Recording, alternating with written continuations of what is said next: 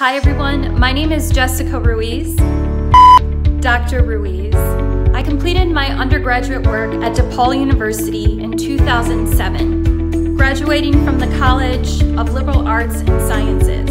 I completed my doctoral studies at Lewis University, defending my dissertation in 2017, for which I completed a historiography on the Mexican immigrants of interwar Chicago. In this video, I'm going to share with you five things you should know of Mexican women of Chicago prior to World War II.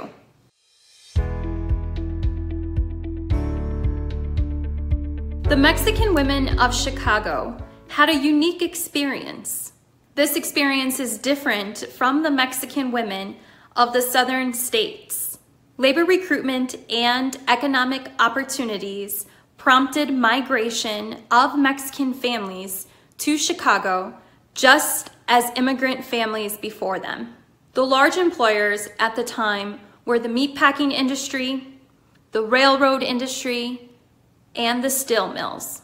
Although these employers primarily employed male laborers, women often accompanied the laborers either as family members or as partners.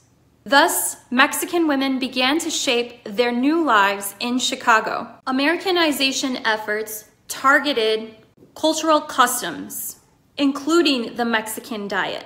By changing the eating habits of Mexicans, reformers believed that they would be more successful in their Americanization efforts. The traditional diet of Mexican women and their families blended native food items of Mexico, including corn, beans, squash, chili peppers, rice, flour, and fruit, a blending of Spanish and indigenous food items. By the early 20th century, Americanization efforts targeted Mexican families, specifically Mexican women who were head of the household and or had a major influence on the upbringing of young children. In 1929, reformer Pearl Ellis is quoted as saying, the noon lunch of the Mexican child quite often consists of a folded tortilla with no filling. Such a lunch is not conducive to learnings. The child becomes lazy. In response, the Chicago Standard Budget was created to support Chicago social workers in changing the diets of immigrant groups, including the diets of Mexican families. In examining the proposed diet for Mexican families, it appears that only a few traditional food items remained, placing heavier emphasis on American food items. American food items were introduced at each meal of the day. This included tomato juice for breakfast, eggs and potatoes for lunch, and dried fruit for dinner. The Chicago Board of Education also attempted to assimilate Mexican women. In 1926, the Board of Education promoted free English classes and other coursework such as homemaking. The Board of Education also created a cooking class for Mexican women for which the attention was to interest the girls in home life and in the spirit of real homemaking to give them an insight into the hygiene of the home and of the person, to teach the benefits of sunshine, fresh air, and cleanliness, and to insist on neatness of person and a neat method of work to show the worth of the economy.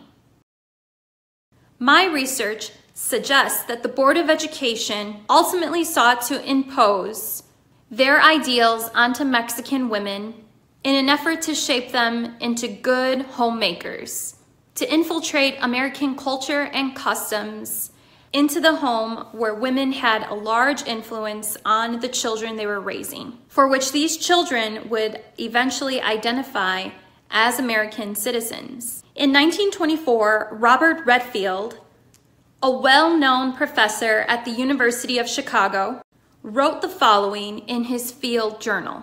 There is really no Mexican in Chicago who is regarded as a leader or with particular prestige.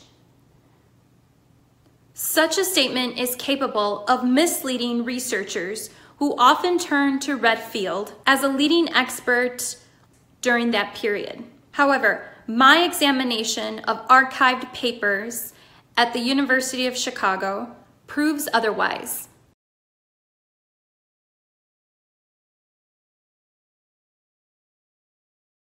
One notable Mexican female leader was Mrs. Alvarez.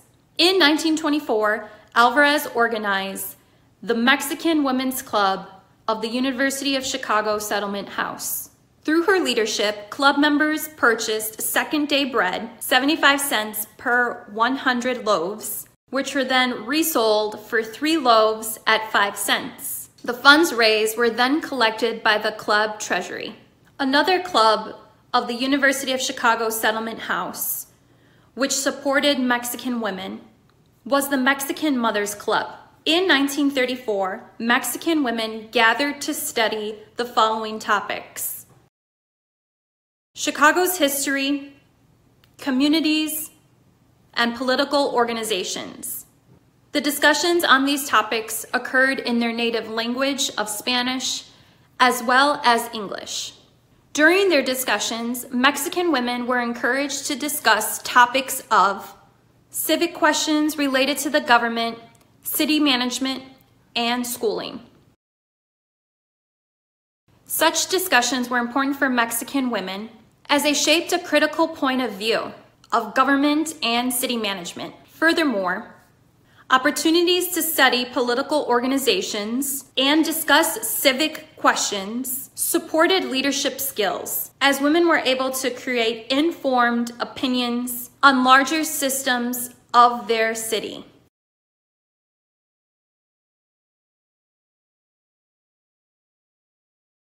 The Settlement House clubs offered various activities, creating a unique space for Mexican and Polish immigrant women to come together. During their gatherings, women were encouraged to share and exchange customs in an amicable community. In 1933, the University of Chicago Settlement House held a class on beauty and culture, during which a mixed group of Mexican and Polish women came together. During this time, they were able to set each other's hair and share in fellowship.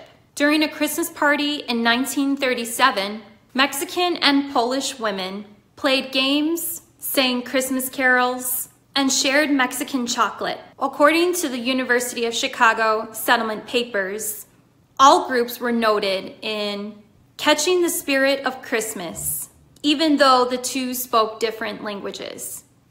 These findings disrupt the notion that Mexican and Polish immigrant groups did not get along.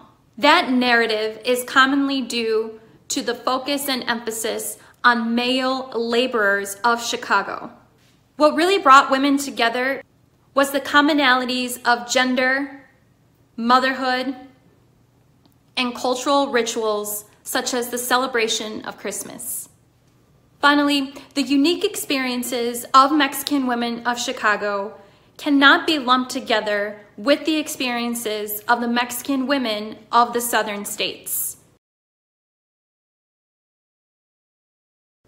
This includes Texas, Arizona, California.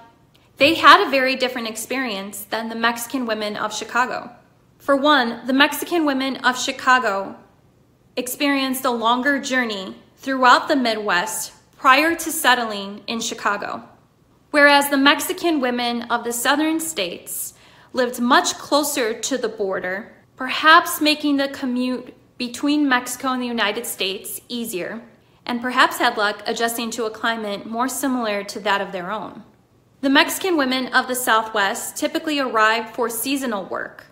They often provided agricultural labor as opposed to the Mexican groups in Chicago, which provided labor for the steel, meatpacking, and railroad industries.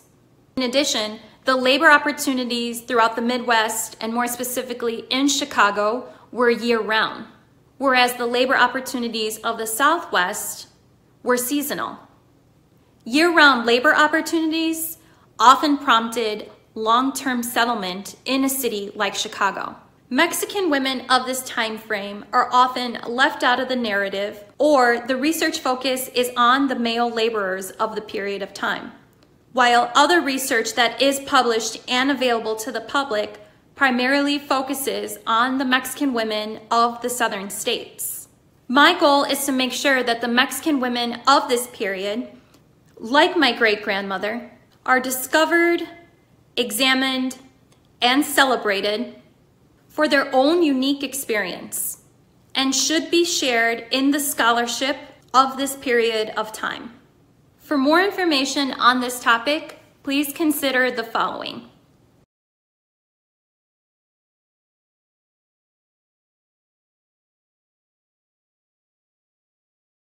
But most importantly, I hope that you learned a few things of the history of Mexican women in our great city of Chicago. Thanks so much.